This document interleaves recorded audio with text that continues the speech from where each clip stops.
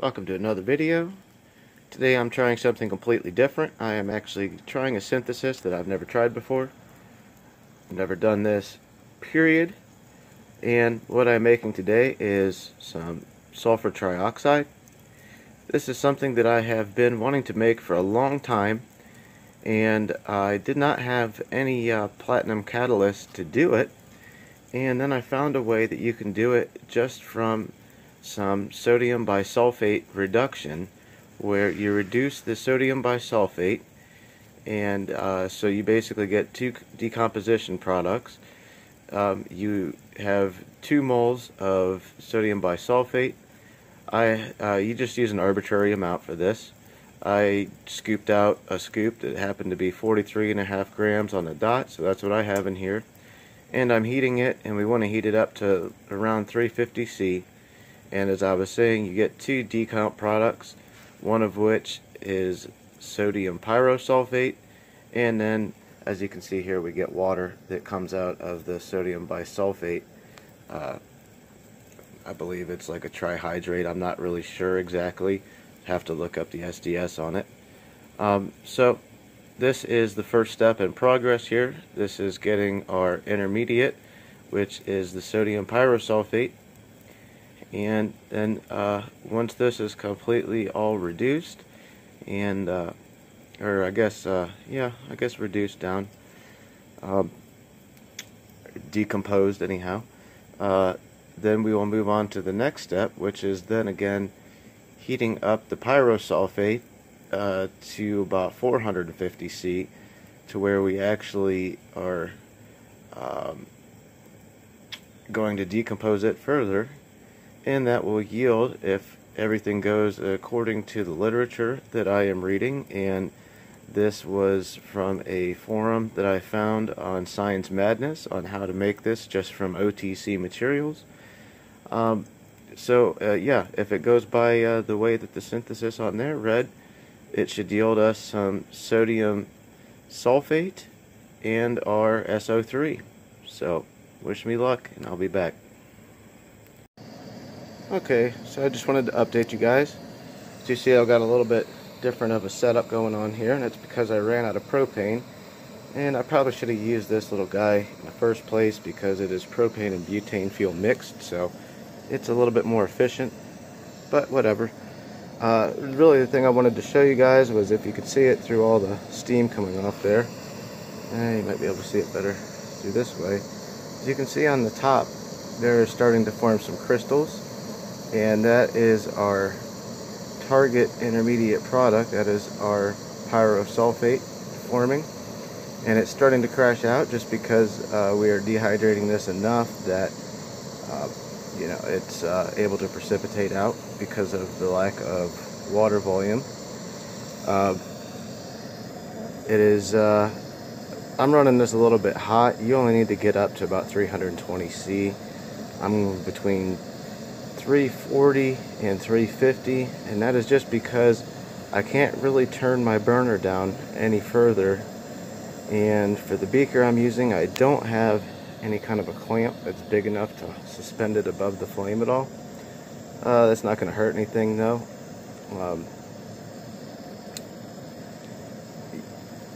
you could uh, you know you can do this pretty much up to whatever temperature you want to because what we're doing is we're you know this is a decomposition reaction so it, it's only going to decompose so far and the farthest it will decompose is to the sodium pyrosulfate which is what we want. So temperature doesn't really matter and uh, I'll obviously get rid of all of the water a lot faster the hotter it is so I guess it's working in my favor. You can also see on the sides of the beaker there there's a bunch of uh, pyrosulfate that is already formed. That's just from, you know, where I started around and it kind of sloshed against the sides of the beaker. So, just wanted to show you how this is coming along and uh, I will come back once our intermediate product is all ready. Alright, so here is what we've got. We're looking at our pyrosulfate right here. And as you can see here, we've got a yield of 38.8 grams of bone dry flakes. So the next thing to do is to just crush this up and get it so it will uh, react a little bit more nicely. And uh, I'm just going to do that by crushing it up in the pestle and mortar. There's really not enough to worry about using the coffee grinder here for, so I'm going to go ahead and get this all crushed up and we'll go from there. Alright, so I got a stir bar. I got a 250 milliliter round bottom flask here. There's stir bar in there. We have 20 grams of our product in there. And so I am going to add in about 2 milliliters of 98% sulfuric acid. Now, as far as the literature says, the uh, amount of water that is in this will potentially reduce your yield if you have it any more than just 2% water. So you really want to use the 98% sulfuric acid for this. Um, if all you have is some drain cleaner acid, I recommend distilling it first. Um, if, well, I mean you can't really do this if you don't have a distillation apparatus, so I was going to say maybe clean it up a little bit with some peroxide and then boil that off, but uh, you know, we're going to have to set this up for simple distillation here in a minute. So, it's kind of stupid of me to even think of suggesting that. So, yeah, so you need to distill your acid first or just buy the 98%, uh, but I recommend just getting drain cleaner and distilling it because the 98%, if you buy it, it is roughly 100 US. Um, per liter. So it's not the cheapest thing in the world. So what I'm going to do, I'm going to set this up for simple distillation here. And uh, I'm just going to uh, have a scrubber with a little bit of sulfuric acid. Uh, and I'm just going to use um, about 90% sulfuric acid in the scrubber. Um, you don't want to let any of this go into the atmosphere because it is not good for the environment. Um, I'm pretty sure that sulfur trioxide is a good bit of what uh, creates the acidity and acid rain. So that's a little bit about why you need a scrubber for this. And uh, it's highly corrosive too. So anything in your shop, in your lab that you're working around that's metal or uh, sensitive to oxidation, it, it, will definitely corrode very quickly with the uh, fumes for this. So uh, let me get set up here and I'll be back. Alright, so here's the setup going on. Here, just got a regular still head. You don't need a thermometer for this. I'm not going to be running any water in the condenser, and that's because um, this likes to solidify at a very low temperature. I believe it's around 16 degrees C. Uh, so if we put any cold water through this, uh, we're going to end up clogging up our condenser. Um, I might end up actually putting some warm water through this. We're going to have to see how it goes. Like I said, never done this before. And right down here into our receiver, you can see here, I've got my washing bottle with some 90% sulfuric in it. And the reason I'm using sulfuric to uh, scrub this gas is because uh, the uh, any sulfur trioxide that escapes is going to essentially turn that into uh, an oleum. And uh, that's pretty much what I'm using the sulfur trioxide for anyhow. So it'll just give us a more concentrated sulfuric acid. Uh, there won't be any reactions there at all. Um, so we need to go ahead and turn on our heat turn on our stirring and let it rip So here you can see the first bit of sulfur trioxide making its way over. Hasn't quite reached the condenser yet, but you can see all this white wispy vapor, smoke. That is our sulfur trioxide. That's what it should look like. It should just look like a white smoke. And it will, if everything goes according to plan, it will travel down the condenser won't clog up my condenser for me on the way there and we will have a nice uh, solid down here. Um, now something I should mention that the paper on this did uh, mention that uh, might be a little disconcerting here is that uh, if there's any organic residue or any um, residue of joint grease at all in any of this, it will start to turn black as this will oxidize it and it will basically just turn it to carbon. So our product that should be a white powder in here might end up having a little bit of a yellow to a brown to a black tinge to it and that is okay um, all we need to do if that happens is basically uh, we can redistill it or just use it as is it all depends on what you're going to use it for if you don't mind a little bit of carbon contamination in there then it's not a problem you can use it you know right how it goes but uh, if that ends up happening here, I think I'm going to redistill it.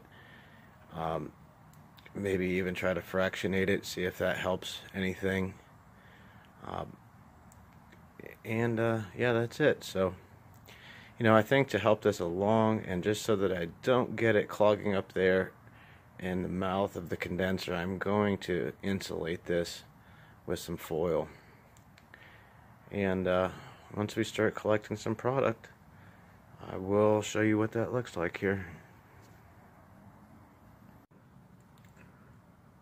Okay, so my first little bit after running this for about 20 minutes here is coming through the condenser now. You can see the gas going right there. And it's puffing down into the takeoff receiver. And you can see here it's filling up in there quite nicely and that will eventually solidify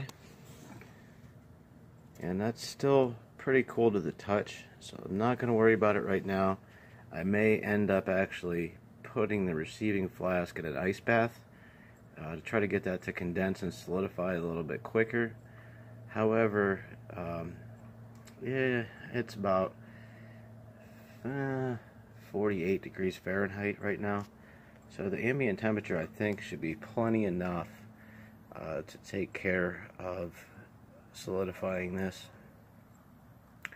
Um, if I don't start to see some crystallization soon, though, I think I will definitely put it into an ice bath. So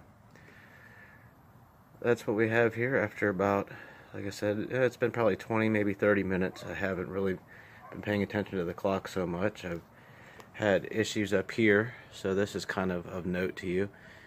If you can see that smoke coming off of there. I do not have a leak in my apparatus. What was starting to happen is, you can see there, the rubber on my clamp was starting to uh, deteriorate. And I don't have any uh, just solid metal clamps, so I just ended up having to loosen that up. And uh, I think I'm to have to loosen it up even more. And you can also see there in the neck there is some of that oxidation of uh, residual grease, joint grease that was in there. So I've got that going on. Um, the only real issue I had was I had to adjust the clamp. And uh, you can see a little bit right in here. There was a tiny bit of something, and I think probably, I'm usually pretty damn careful about cleaning my condensers. That's probably a tiny little bit of um, acetone residue in there. So I will have a little bit of contamination going on. It's disappointing, but you know, I kind of expected that to happen, so no biggie. And it did mention that in the literature for this reaction, so nothing to do now but just sit back and wait. Alright, so two things here. Uh, first of all, of note, I did put this in an ice bath. However, the most important thing here, and this was a fundamental tactical error on my part, I had to switch out my heating apparatuses. And this is simply because my heating mantle, uh, and I should have known this, is not hot enough to get this reaction going. Uh, we need to get up to around 450, 460 C, and my heating mantle only gets up to about 380. Um, so I've been sitting here waiting this whole time for about an hour. Uh, it got up there, you know, we saw some gases coming over and then it just stopped. And nothing. So I finally figured out, like, oh, I'm pretty stupid here. So uh, that's really the main thing then, is I switched my heating devices. So we got to go to an open flame here. If you've got a heating mantle that will sustain those types of temperatures, by all means use it.